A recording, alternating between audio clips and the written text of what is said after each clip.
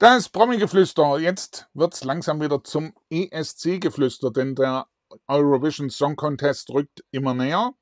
Am 3. März, da gibt es die deutsche Vorentscheid und zwar live in der ARD um 22.30 Uhr. Acht Kandidaten sind mit am Start. Die wurden von einer Fachjury ausgewählt und ein Kandidat, sozusagen so eine Art Wildcard, kommt noch dazu über die Bewerbung von TikTok. Da bin ich schon mal gespannt, wer da noch ins Rennen einsteigt. Die ersten äh, Kandidaten sozusagen, eine äh, Pop-Punk-Band, also zumindest wird es rockig. Das Ganze Lonely Spring und zwei Vertreter, die beiden Zwillingsbrüder, die habe ich jetzt bei mir im Interview. Ich sage erstmal Hallo und herzlich willkommen.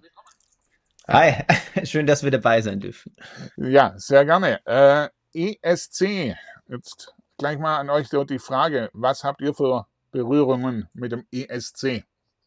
Also ich glaube, dass grundsätzlich wahrscheinlich jeder Musik, jede musikinteressierte Person in Deutschland wie auch Europa irgendwo, glaube ich, natürlich Berührungspunkte mit dem ESC hat. Man wächst ja so ein bisschen damit irgendwie auch auf. Also ich weiß, das erste Mal, also hab, wir haben immer ESC geguckt in der, in der Familie, ähm, seit ich mich irgendwie erinnern kann. Und das war halt auch immer so ein bisschen so, so ein kleines Highlight, wo also, wie man, dass man halt zusammenkommt und alle das miteinander guckt, so ein bisschen wie halt, keine Ahnung, das, äh, sowas wie Weltmeisterschaft beim, im Fußball halt. Es ist halt so ein, so ein Event und durch das, dass wir natürlich viel mehr Musik begeistert sind und auch immer schon waren, wie wir, also mehr als wie Sport begeistert sind, war das natürlich eher so unser Event. ähm, und dass wir jetzt selbst mal irgendwie so in die, in die Nähe davon kommen, von dem ganzen Ding, äh, hätten wir uns natürlich jetzt als Kinder auch nicht erträumen können. Mhm. Aber ähm, umso cooler, dass, dass wir jetzt irgendwie auch so mit am Start sind. Ganz genau. Also, äh, glaube der Aufruf war ja im vergangenen Jahr, so im Herbst. Da hat der NDR mal wieder einen großen Aufruf gestartet, dass sich die Musiker bei, äh, mit ihren Songs entsprechend bewerben können. Also, das heißt, ihr schreibt eure Musik sozusagen selbst, Musik und Text komplett, oder? Ja, also wir arbeiten ganz normal mit äh, Produzenten etc. Also natürlich ähm, äh, es ist jetzt nicht komplett DIY, ähm, okay. aber genau, wir schreiben, wir schreiben die Songs, die Texte okay. und es kommt von uns, genau. Und ah, dann wird es halt miteinander fertig gemacht, ja. Jetzt, äh, wenn wir mal ganz kurz euren Titel dahernehmen, äh, um was geht's denn? Ich habe es jetzt so ganz grob gelesen, sind einfach auch, äh, glaube so Thema äh, Außenseiter ist, da kommt irgendwas mit so drin vor, ganz grob, oder? Liege ich da richtig? Genau. Also ähm, Genau, so ganz grob äh, stimmt es auf jeden Fall. Also Außenseiter und es geht halt einfach im Endeffekt, wenn man es so zusammenfasst, um alle, um alle Personen, äh, die irgendwie in gesellschaftliche Konstrukte wie auch irgendwo anders, also sich so fühlen, als würden sie nicht akzeptiert werden, nicht reinpassen. Und ähm, es geht so ein bisschen, also die Message dahinter ist, äh, diese Akzeptanz äh, voranzutreiben, dass, also, dass man, dass es wichtiger ist, sich selber so zu lieben, wie man ist, also wie man wirklich ist, wie sich für andere zu verändern oder sich irgendwie umzustellen, dass man halt irgendwo reinpasst. Und äh, das haben wir, glaube ich, äh, in unserer Vergangenheit ganz, ganz oft auch wirklich selber gemacht, dass man sich für andere verändert hat, dass man dazugehören wollte und dann immer wieder gemerkt hat, das ist es nicht, äh, irgendwie fühle ich mich so falsch und e, also e, egal in welche Richtung es jetzt mhm. irgendwie geht, es ist halt irgendwie wichtig, dass man, dass man so ist, wie man man wirklich ist und äh, ob das dann andere Leute akzeptieren oder nicht. Also ob das jetzt irgendwie, keine Ahnung, Gender Identity ist, ja. ähm, alles Mögliche, was, was in diese Richtung geht, aber ja, grundsätzlich einfach, genau. Ja. Ähm, und ist das, ja nicht so. Ist das so grundsätzlich gerade ein Problem in der aktuellen Zeit oder kommt es da verstärkt vor? Wie kriegt ihr das so mit, auch gerade aus eurer Jugendzeit?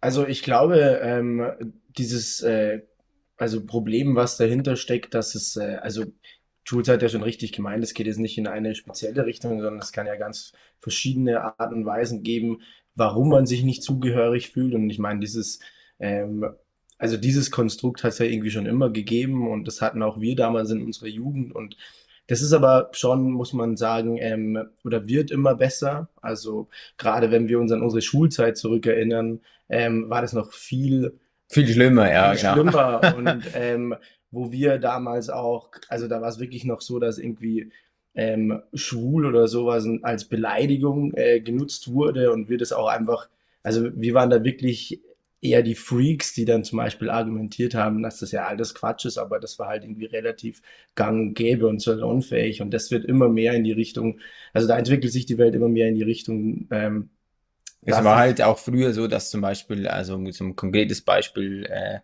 ähm, zu nennen, also bei uns in, in der äh, in der, also in der Schulzeit war es auch so, keine Ahnung, da war es halt schon total, wir sind ja auch so ein bisschen vom Land, das hört man ja mhm. auch so ein bisschen. Und ähm, da war es halt auch total äh, absurd und halt nicht gern gesehen, wenn man als äh, als männliche Person, wenn man da äh, äh lackierte Fingernägel oder sowas trägt und ähm, so, keine Ahnung, und wie, wie Simon schon meinte, es war halt einfach die, die ich würde sagen, die ganze Gesellschaft war definitiv viel weniger aufgeklärt, als es heute äh, ist. Richtig. Es ist natürlich immer noch ein, noch ein weiter Weg, bis es alles, sag ich mal, so ist, wie es wirklich sein sollte. Aber ich glaube, man entwickelt sich schon in eine ganz gute Richtung. Ja, also es gibt auf jeden Fall noch einiges zu tun. Und es wird auch so schnell nicht aufhören. Also es ist auch kein Ziel, was man jetzt irgendwie morgen oder übermorgen erreicht denke ich. Da äh, wird es noch ein langer Weg und Prozess dahin, aber äh, man merkt auf jeden Fall, dass sich was verändert. Und man merkt auch, und das ist super schön, dass die Community dahinter immer größer und stärker wird und lauter wird. Und ähm, deswegen, gerade wenn es Missstände gibt, die halt so nicht der Fall sein sollen, wie es halt zum Beispiel früher in unserer Jugend relativ normal war und da viel zu wenig Leute was dagegen gesagt haben, ist es heutzutage so, dass ähm, ähm, quasi die dass da immer mehr dagegen aufstehen und äh, sich mhm. quasi erheben. Und das, das ist auf jeden Fall besser geworden. Ja, sehr schön. Also auf alle Fälle tut sich was und das, das ist ja gut so. Ganz genau. Ja, äh, ihr seid, du hast es ja gerade erwähnt, bisschen äh, in der ländlichen Gegend zu Hause, also genauer gesagt eigentlich in Passau. Wer es kennt, die drei Flüsse Stadt, gell? Wenn wir ein bisschen hier auch kulturell reinbringen. Genau. Ähm, klar, wenn man natürlich jetzt in München oder so wohnen würde, ich glaube, da wäre das völlig ganz anders, ne? Ich, ja, klar, also ich glaube, je, je städtischer das es wird, ich glaube, desto, also haben wir ja selber auch so mitbekommen, auch gerade was irgendwie Berlin angeht, etc. Also, mhm. ähm, wo wir auch, also wo wir auch oft sind zu Recording-Zwecken. Ich mhm. glaube, so je, je größer die Stadt ist, desto, desto aufklärter sind auch, Grund, äh, sind auch grundsätzlich die, desto aufgeklärter sind grundsätzlich die Leute und so weiter. Und ich glaube, dass es wahrscheinlich auch in München äh, natürlich, äh, dass es noch viel toleranter irgendwie ist, ähm, wie jetzt, ja, wie, wie jetzt so am Land, aber ich glaube, ich glaube auch da, äh, äh ich glaube, ich, ähm, ich glaube auch da ist es so, dass dass es auch immer besser wird. Und ich meine, klar, die, wenn, wenn man sich, also wir kommen ja eigentlich aus einem, aus einem ja, Dorf, soll man jetzt nicht sagen, es ist schon ein kleines Städtchen, also äh, wo wir aufgewachsen sind, war so 30 Kilometer von Passau weg. Okay. Und ähm, genau, und äh, das ist natürlich auch jetzt noch, ich sage mal so, es ist ein bisschen weniger aufgeklärt wie jetzt zum Beispiel in den größeren Städten. Es äh, geht aber auch da, jetzt merkt man auch so immer mehr voran, dass, dass plötzlich Dinge endlich die Akzeptanz bekommen, die sie verdienen. Ähm, aber wie gesagt, es ist überall noch, ein, auf jeden Fall ein langer Weg. Okay. Kommen wir zur Musik. Genau, seit circa ja, im Alter von 13 Jahren habt ihr begonnen. Wie lange liegt das schon wieder zurück? also wir sind tatsächlich äh, gestern, wir sind gestern ähm, 26 geworden, deswegen okay. äh, 13 Jahre. Und 13 Jahre. Ähm, ich weiß auch gar nicht, ob wir wirklich im Alter von 13 mit dem Musikspielen begonnen also, haben oder ob es einfach so, ein bisschen. So mal Daumen, ne? Genau. Ja, ja. also ein bisschen vorher auch war. Wir haben schon eigentlich seit der dritten Klasse irgendwie. Äh, ja, man, ja? also ähm, ich habe äh, neulich mal wieder drüber nachgedacht, ähm, was eigentlich wann passiert ist. Und ähm, also so angefangen, äh, wir beide mit ähm, damals irgendwie so Konzertgitarre, Akustikgitarre irgendwie mit acht oder neun. Und wir haben tatsächlich, da habe ich mich dran erinnert, wir haben tatsächlich unseren ersten Song zusammengeschrieben mit elf. Ähm, der war natürlich nicht gut so, aber auch fair, muss man sagen, weil es war mit 11 der erste Song und dann ähm, war es halt so, dass wir mit 13 dann unseren Gitarristen im Mann, Manu halt getroffen haben, beziehungsweise ein bisschen davor. Wir haben in, uns in der fünften Klasse kennengelernt und dann, aber mit 13 haben wir quasi die Band Lonely Spring, ähm, also wir drei schon mal zumindest, so ein bisschen gestartet und dann unser Drummer kam dann dazu, als wir 16, 17 waren. Ähm, aber da, deswegen ist so 13 Roundabout, da wo es halt dann wirklich so Richtung ähm, Band und wir wollen jetzt wirklich auch als Band ähm, in die professionelle Richtung irgendwann gehen. Das war dann da wirklich so der erste Step, denke ich. Mhm. Und ihr seid jetzt so die Vierergruppe sozusagen, also das Quartett, äh, immer noch so von Anbeginn zusammen, oder? Ja. Quasi. Also ähm, wir haben äh, der Manu, also der, ähm, unser Gitarrist, ist so eigentlich mein bester Kumpel seit der fünften Klasse oder so. Okay. Und ähm, wir sind ja Zwillinge, dementsprechend kennen wir uns noch länger. Und äh, ähm, wir haben irgendwie auch in der fünften, sechsten Klasse miteinander angefangen, Musik zu machen.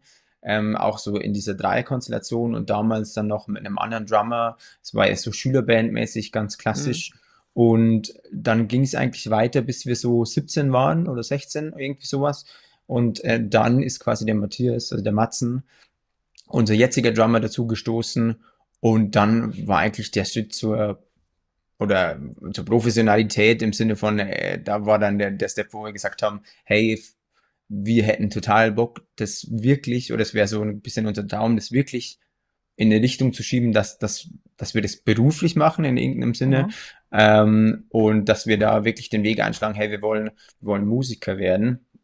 Und das war dann in dieser Viererkonstellation. Und da sind wir auch seitdem so unterwegs. Also das war quasi ähm, das sind Leute, glaube ich, immer ein bisschen verwirrt. Ich habe auch schon ein paar Instagram-Nachrichten dazu gelesen, ähm, dass die Leute jetzt nicht genau wissen, wann Lonely Spring eigentlich losging. Und es ist nämlich tatsächlich so, 2014 ist bei uns immer dieses offizielle Gründungsdatum, äh, was wir angeben, weil das war dieser Moment, wo wir quasi die Band ähm, quasi neu erfunden haben, beziehungsweise mhm. halt ab da gesagt haben mit dem Matzen zusammen, unserem immer noch Drummer, das ist jetzt wirklich der Weg, den wir gehen. Und wir hatten den Namen aber quasi seit wir 13 sind schon. Also wir haben damals mit, mit unserem Gitarrist zusammen und dem anderen Drummer schon den Namen getragen und auch schon ein paar Konzerte gespielt. Deswegen taucht er ab und zu mal irgendwo auf, was quasi vor, äh, vor 2014 ist. Deswegen sind die Leute immer ein bisschen verwirrt. Aber das war quasi, könnte man sagen, so ein bisschen die Findungsphase. Da hatten wir schon einen Namen, aber dann 2014 war wirklich so, wo wir Lonely Spring jetzt auf Serious gemacht haben, könnte ah, man sagen. Alles klar, sehr gut. Ja, und wann kam die Idee auf zu sagen, ja, wir bewerben uns jetzt mal beim ESC?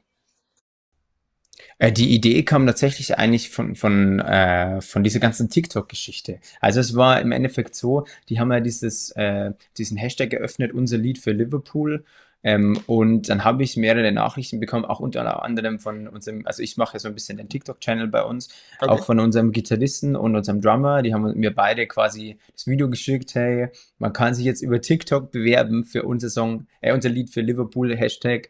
Mit dem Hashtag mhm. kann man sich für den ESC offiziell bewerben und dann dachte ich mir so, erst habe ich so ein paar Nächte drüber geschlafen, dachte mir so, ach komm, äh, schau, schauen wir halt einfach mal, was so passiert. Und dann habe ich es eigentlich so mehr oder weniger aus, ja, jetzt nicht aus Spaß, schon so mit der gewissen Ernsthaftigkeit, aber einfach mal so, ja, let's try, so äh, ein bisschen, ähm, aber halt nicht, ich bin halt nicht davon ausgegangen, dass es wirklich so weit, wie wir jetzt auch gekommen sind, kommt.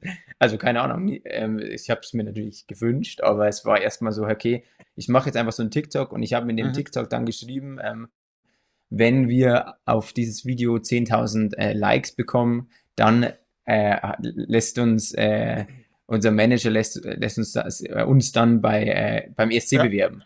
Und ähm, dementsprechend war es, so habe ich das gepostet und dachte mir eigentlich nicht so viel dabei. Und dann habe ich zwei Tage später, hatte das Video dann 35.000 Likes statt 10.000 Likes. Okay. Und ähm, dann war es erstens so, dass ich mir dachte, okay, jetzt kommen wir sowieso nicht mehr aus, jetzt müssen wir uns wirklich so richtig bewerben.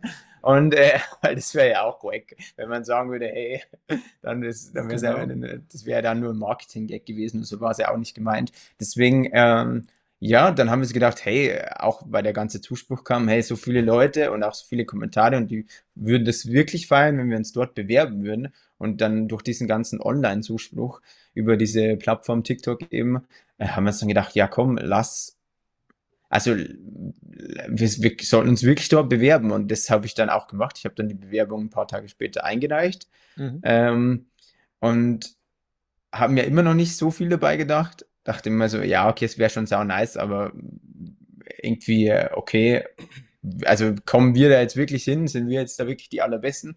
Also ich hoffe natürlich und ich mag unsere Musik sehr gerne, aber ich weiß, man kennt ja die Konkurrenz immer nicht. Genau, und dann bekamen wir irgendwann äh, den Anruf und dann dachten, waren wir natürlich, äh, ja, total, äh, total außer uns und haben uns mega gefreut. Und jetzt sind wir offiziell im Vorentscheid dabei. Genau. Und das ist eigentlich nur aus dieser, ähm, dieser, eigentlich nur, weil ich dieses Video gepostet habe. Das war so der Anfang, der, das okay. war so der Ursprung von allem.